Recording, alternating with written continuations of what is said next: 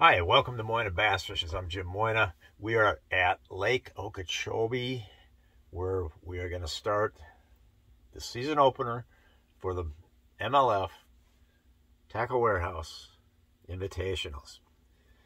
All right, so this is the big deal. The whole goal, this is it. This is the whole goal for me, is to qualify for the Bass Pro Tour. And this is how you do it, by fishing these invitationals. There's six of them. First one's here at Lake Okeechobee. They're going to take the top eight in the Angler of the Year points. And those eight anglers are going to have the option of fishing the Bass Pro Tour next year. That is my goal. That's why I'm here. It's got to be done. I got to get this thing done. This is, I'm not fishing in this minor league stuff is does not sit well with me. I've had a long career of fishing at the top level and here I am fishing in the minor leagues again. I don't like it. Not happy about it. Um, but in the end, it is what it is. This is where I ended up. Had I caught the fish better over the years, I wouldn't be in this situation. But I am, and I got to get this thing done. Um, it's been a long time since I've finished in the top eight in the Angler of the Year points. I've done it three times in my career uh, on the uh, FLW Tour. Um, I've done it in other tours as well. Um, but I've done it three times, and it's probably been 10 years since I've done it. The last three years, I've had a 27th, 25th, and a 25th in Angler of the Year points. So it's going to take better performance than what I've had over the last three years what what I really was lacking in the last few years was probably, or was, just the, the punching through and, and posting some top ten finishes. I've had a lot of in the money finishes, but typically it's been like 20th place to 60th place kind of money finishes, consistently in that range. You know, you're getting paid, but not advancing to the next level. So what I got to do is start closing on these tournaments, finishing them. You know, just coming up with that big catch. That's what's got to be done. Uh, I don't know. I mean, I'm 57 years old. I don't have a lot left. Uh, a lot of I don't have a lot of time left in the sport. More than likely, especially at you know trying to punch through to get to the top level. I got to do it now. I can't wait. I can't. I mean, this can't go on. It's got to happen. So, anyways, today was spent, uh, we couldn't fish today. Practice starts tomorrow. We get three days. Tournament starts Wednesday. Today was uh, just all about preparation. I've been spending the last few days vacationing with uh, my friend the Andersons in Tampa. Uh, some good good relaxation going on, and just good to visit with the old friends. Uh, so the, today started waking up in Tampa. Uh, Bill drove me up to where my boat's been stored up at Lee's. Thank you, Lee, for holding onto that boat. Thank you, Bill, for putting me up and driving me up there. And from there, I drove it all the way down here to Okeechobee, where now I sit in this camper. But today was a busy day down here. It was a busy day of just driving busy day of getting here, uh, taking the camper off, putting the camper on the pad, uh, getting that all set up. I'm trying to get trying to uh, renew my dedication to exercise. Got kind of sloppy the last couple months, even though I've had some time off to focus on it. I kind of let it go. Didn't really get into it, but I'm gonna I'm gonna try to rededicate myself to it. So got in a good workout today. This was probably like the seventh day in a row of exercising. And I'm ready. So then, after that, then it was a matter of just uh, getting my equipment prepared. Um, you know, where I fished in Texas, you know, some of those rods were set up uh, from Texas. I could just transfer them right to here. But there was a lot of things I had to redo. Um, I've got myself basically what I had to, this is what I got set up. I got three punch rods, okay? I've got a punch rod with a one ounce weight, one with a one and a half, and one with a two ounce weight. Um, a couple and a different bait on each one of those.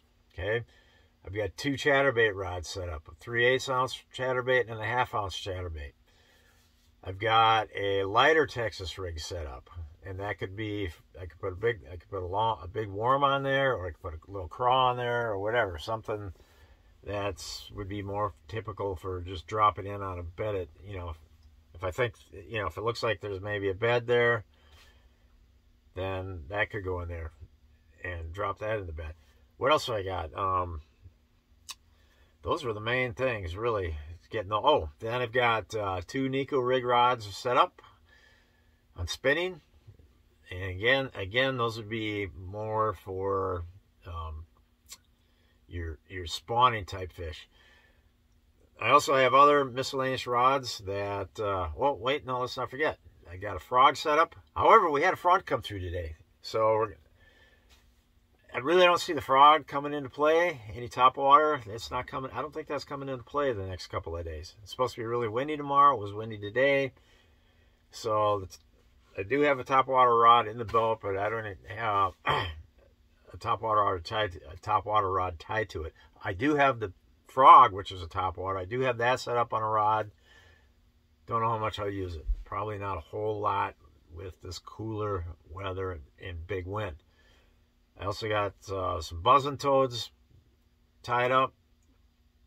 Kind of again the same kind of thing. Don't know how much I'll get a chance to use it.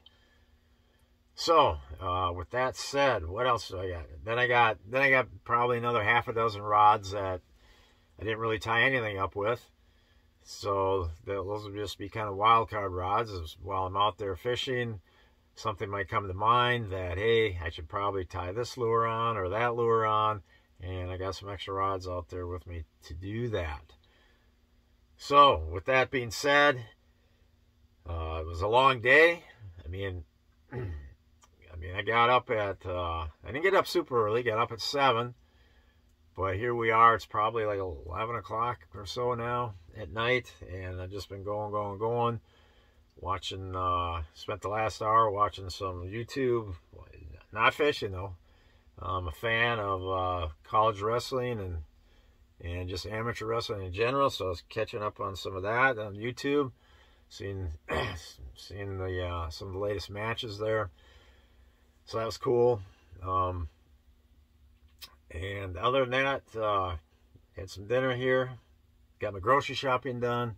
That was the last thing I did tonight. Got back from grocery shopping after 10.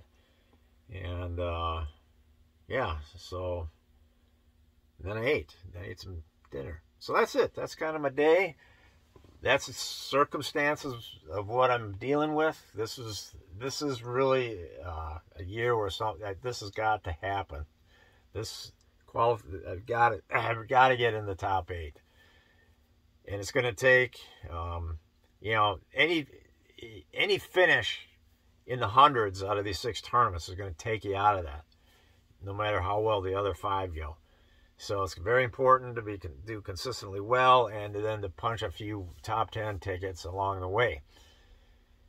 This lake, Lake Okeechobee, has been a nemesis of mine. I have a very poor rate of cashing checks here over the years. I don't understand why, because I've had some fabulous practices at times, and things just, just things just don't happen in the tournament. The only thing I can say is the last two times I've been here, once was like two years ago, and then like maybe four years ago. Uh, the last two times I did at least check, um, not top 10 checks, but checks. And if I can get out of here with a top 50, um, that would be okay. The top 20 would be freaking awesome. Never had a top. My best finisher is 37th. Well, no, wait, two years that or four years ago, that was a bass. That was a bass open. I did I think I finished like in the 20s. That's probably my best finish ever here. So, uh, uh, all those FLW tournaments over the years, um, I think like 37th might have been my best. So, kind of a, a, nemesis for me out here, but uh, I, I love fishing this kind of stuff. Lily pads, bulrushes, uh, hydrilla, just love fishing this. This is totally a style I love doing. And I mean, I've done well with it back home in Minnesota, fishing a lot of emergent weeds over the years. And I can't seem to translate that to here for some reason, but uh, I'll get it done. It's this is going to happen. It's just failure is not an option. It's gonna. I'm gonna get this done. The urgency is there. I feel it coming. I feel a good tournament coming. It's just. It's not gonna be any other way. Over.